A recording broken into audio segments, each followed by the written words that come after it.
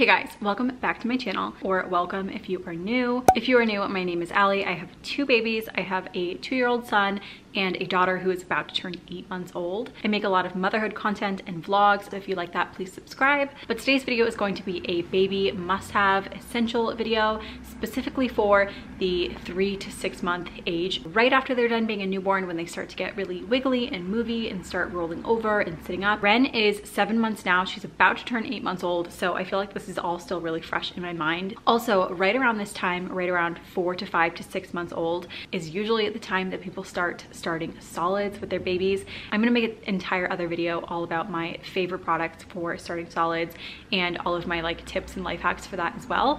So keep an eye out for that, but I'm not gonna mention a lot of food related feeding items in this video. I also have a video all about my newborn must-haves and I also have a video all about toddler must-haves. I will link those down below and in the cards too if you guys wanna check those out as well. I'm gonna start off with a few sleep related items. This is also in that time period where you're supposed to stop swaddling your baby. My absolute favorite product with both babies to transition from the swaddle is the Merlin Magic Sleep Suit.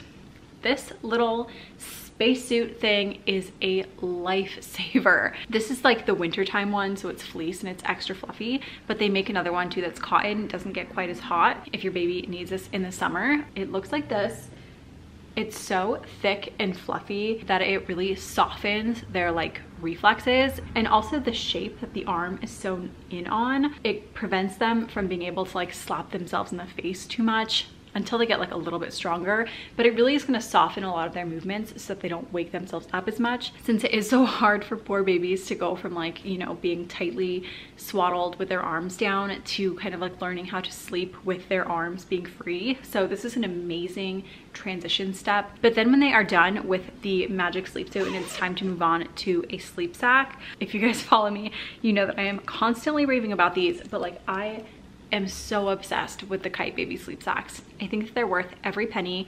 They're definitely a little bit more of a pricey sleep sack on the market, but they're so worth it because they last so, so long and they're just so comfortable. We definitely tried a few other sleep sacks when my son was little, trying to find the right one. And then after we found the Kyte Baby one, it's all we use for both babies. It's just a very classic sleep sack. This one is a little bit bigger. This is the six to 18 month size. It's so big this fits both my eight month old and my two year old. They come in a bunch of different thickness and warmth options and I like to buy them all in these nice like gender neutral colors. That way my kids can use them. Another sleep related item is a portable sound machine. I also recommend that they sleep with a sound machine all the time anyway, but I wanted to specifically talk about a portable one because this helps so much if you need to have your baby napping on the go. I always bring this with if our daughter needs to take a nap in the car on the way to go somewhere, or if I know we're gonna be somewhere like right around her nap time and I know she's gonna need to sleep.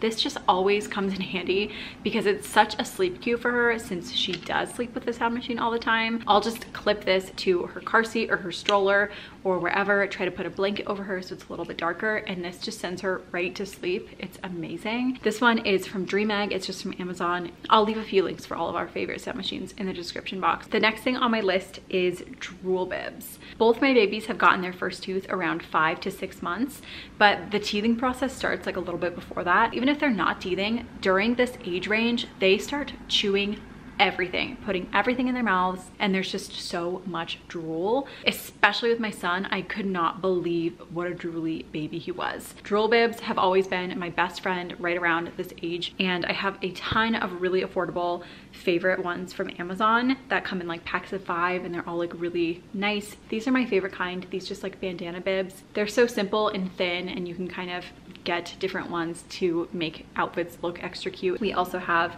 these ones that kind of fold over and they're more of like a cutesy little accessory type of drool bib. But yes, this is nice that you don't have to change their shirt a million times a day. The next thing on my list is kind of like a product and also kind of just like a piece of advice. And that is outfits that have open feet. So little like jumpsuits like this that look like jammies that have no feet. These are like one of my favorite things to put babies in at this age.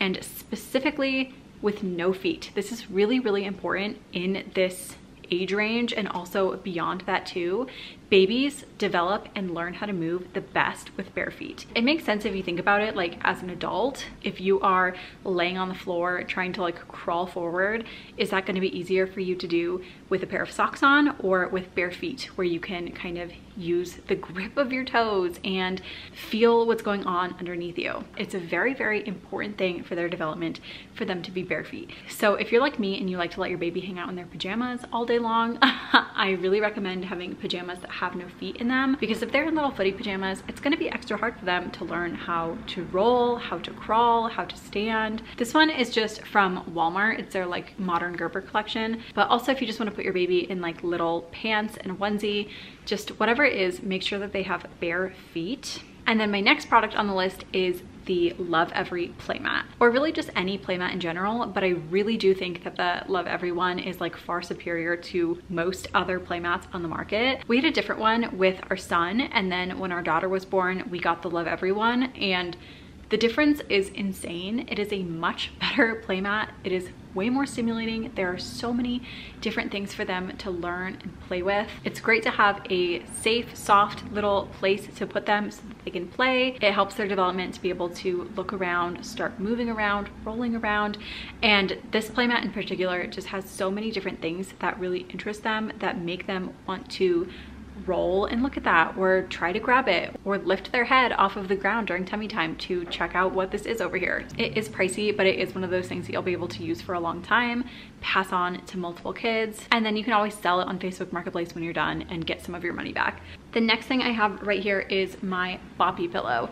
This is also in my newborn must-haves for breastfeeding or even bottle feeding. It just, it's like really great for having some support while you're holding a newborn baby. I am still breastfeeding at eight months and so it's still really great for that. But it's also so great for right when they're learning how to sit up to just put this around them just in case they do fall over they're not going to whack their head or anything it will catch them it just gives them a little bit of support i also really liked to put this underneath the Lovevery play gym and have her just kind of like laying on it like a pillow. And then that way she could kind of look up and play with all of the things hanging from the play gym. but yeah if you don't already have a boppy from when your baby was a newborn i still really recommend them. I still think it's worth it. These are my favorite diapering products for like little baby bottoms. Just regular old vaseline and these little booty spatulas. I used to think that this was the dumbest, gimmickiest product ever. I was like, butt spatula, that is so stupid, yada, yada, yada. And then now this has become one of my favorite baby products ever. Along with Vaseline, nothing has worked better for either of my babies than Vaseline for diaper rash. I put this on their bottoms before their bedtime diaper since that's like the longest one they're gonna be in or if they are starting to have any sort of diaper rash at all, I'll put a little bit of this on them and it's gone within the day. And it's so cheap. It's so much cheaper than any diaper rash ointment that you could buy at Target. I highly recommend and it lasts forever. And then this, they all come with little suction cups on the bottom. So if you have like a really squirmy little baby who doesn't want to sit there for her diaper change, get a scoop of this, suction it to your changing table, and then right when you get to that part, you can just pick it up, put it on their booty and then put it back down and clean it when you're done. And then you don't have anything on your hands. You can do your diaper change super fast and this just like gets it on their bottom way better than your finger does anyway. And then your hands are clean. I mean still wash your hands after you change diapers but like at least you're not covered in stuff you know what i mean? Next thing on here are pacifier clips if your baby uses a pacifier. We use pacifiers and at this age i always kind of have one clipped to her just in case she needs it. It's also great when we're on the go in the car seat. I know that it's not going to fall on the floor and get dirty or anything or get lost because pacifiers are expensive these days. These are my two favorite kinds we get these like braided cloth ones on Amazon. They're really inexpensive and I just throw these in the washing machine to clean them. It's super easy. And then I also really like these chewable teething type of ones too. But also if your baby doesn't take a pacifier and you're on the go and you don't want them to like drop the little toy that they're playing with or something, you could always use one of these to like attach it to them or their stroller or their car seat or anything like that. Next thing here are these little silicone feeders. This is one of the only like feeding products I'm gonna talk about in this video. I feel like I talk about these so much on my channel, but they really are just great. My two-year-old still loves these. We get so much use out of them and it's just a little silicone feeder that they can chew on. It's got little holes up here in the top so you can put ice cubes in here, frozen breast milk or formula, berries or whatever kind of fruit or food. We love these for teething babies. I love to just put a couple of like crushed ice cubes in here and let her chew on that. This is also how I kind of baby step into solids also. When Ren was maybe around like five months old, I would every once in a while just put like a strawberry in here for her to chew on while we were all sitting at the table eating dinner. The only other food related thing I have on this list are puffs.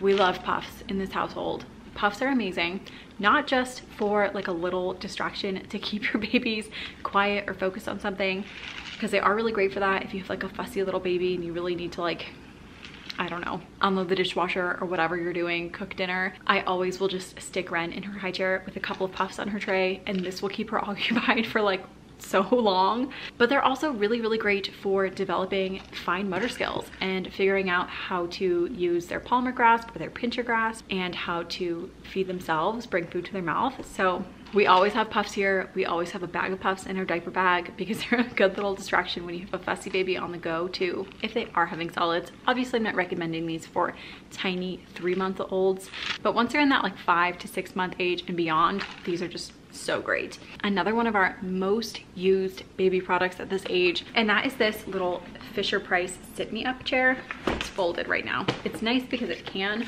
fold down pretty small like this for storage, but then it pops up like this, sits on the floor. This is really great for that age before they can sit up independently, but they really want to be sitting up and seeing what's going on. This is like an amazing little in-between chair for that. We have loved this so much. We took this on vacation with us when our son was like four or five months old. Before both of my babies were old enough to sit in their high chairs, we always had this thing sitting on our kitchen table during dinner so that they could sit there and see what we were doing and feel involved. Or also I would always put this thing on my kitchen counter while I was cooking supervised obviously. This thing has a mean footprint. It takes up a lot of space and it's very secure. I don't think that they would ever be able to like knock themselves out of it which is why i like this better than a bumbo. I see bumbos recommended all the time. I have a friend whose baby fell off the kitchen counter in a bumbo because they can move those things. They're pretty small. They have a small footprint. So i really like that this sit me up chair has a much larger one. Obviously be careful you wouldn't want to put your baby anywhere that they wouldn't be safe. This definitely helped so much in that age where they are so fussy because they want to see what's going on but they can't sit up by themselves. We loved this chair for that. Another little baby container similar to that. For once they're like a little bit older is our foldable portable little bouncer activity center that we have. It's outside right now, so I don't have it here to show you, but I'll put some videos of what it looks like. We ordered this on Amazon because we always really wanted to get one of those little activity centers that your baby can like bounce in, but we live in a really small house and we were like, where are we gonna put that when he grows out of it? And so I was like searching on Amazon and I found this one that is a little bouncy activity center that collapses. So great for storage because it just folds up, super small, and then you can put it in your storage closet or wherever you need to. And you don't have to take anything apart. It's just very, very simple. What I love about this one is that it is outdoor friendly too. So we've like accidentally left outside in the rain before, but it's waterproof. And we probably start using that around like five or six months. Once they have like pretty good trunk and neck support and they, it's another good thing to have like popped up in the kitchen when they want to see what's going on but you kind of need to like contain them to one space. I also love to take to the backyard when our toddler is like running around playing and I need to be like watching him and I don't want her like crawling around our backyard so I'll put her in that and she'll just bounce around and play with the toys on it and it's amazing. Almost done, I just have a few more things to mention but the next thing I have on here is this Lalabu Baby baby carrier. If you follow me on Instagram or if you follow our vlogs, you've probably seen this before. I love this baby carrier. I am a huge, huge fan of baby wraps. That is my favorite way to baby wear is in a wrap. I just think it feels so snug and so comfortable and so supportive. Right around like four or five months is when they just start to get a little bit too big to comfortably wear in a wrap. So the best thing in my opinion to transition to from that is one of these. They are so wrap-like, they're so soft and kind of feel and have that same look as wrap, but with all of the support of like a structured carrier. We also have an Ergo Baby carrier that's like structured. I would never just want to like wear that thing around. That thing is big, bulky, it's ugly. Like it's comfortable and whatever, but it's just not cute. I don't like it. I would never really reach for it. This has like all of the comfort and structure of that while still being really pretty, which you know, it's not important to everybody, but I do really appreciate that about it. And the company did give me a code for all of my followers if you want to use it. You can use the code ALLIY25 for 25% off. And that is not an affiliate code. I don't get anything from that. It's just for you guys to use if you want it because I love their products so much. I have a few different toys that we really love for this age range too. First one is this little mushroom teether. This is one of the best little baby teether toys ever for this age. You can suction cup this onto like a table or the high chair, or also it's like the perfect little handle that will go over their tiny hand. And then they can munch on this, like chew on for teething. It also almost works as a pacifier too. They can suck on this. I know it doesn't look like much, but everybody who has bought this because I told them to has come back and been like, this is the best baby product ever. Thank you so much for recommending this. Like this is a must have. Another one that she has used so much and has been really great is this little random rattly type of toy. I think I got this at Target, but you can get it on Amazon too. And it's just the perfect little size for her to be able to grab onto these things. It keeps her entertained for so long, looking at all of the colors, moving it around, rattling it. She can teeth on this. We always have this with us in the car seat when we're going somewhere because it really does keep her entertained for a long time. The last must have I have to mention in this video are the Lovevery subscription play kits. This is not sponsored, but I do have affiliate links in the description box if you wanna try it. But we just truly love these subscription play kits. They always come with the best toys exactly for like where they're at developmentally. But I just brought over like a few of the ones from her last box to show you. We like love these so much. This little crinkle paper, she's obsessed with. They're just really great high quality toys that you can keep passing down. She plays with some of the toys that Hawk already had when he was little and they just last a really long time. I'm sure you guys have all heard of Lovevery before, but I did just want to mention that in this video because it is something that I think is worth it and something that we really love and use every day. Go over my list, make sure I didn't forget anything. So that is everything that I had on my list for the three to six month must-haves. If you have anything that you want to add to this list, leave it in the comments so that everybody else can read through. And yeah, I'll make sure to have everything I can linked in the description box if you want to check any of this stuff out. Otherwise, that is all I have for this video today. So thank you guys so much for watching. Don't forget to subscribe and follow us on Instagram and I will see you guys all in our next video.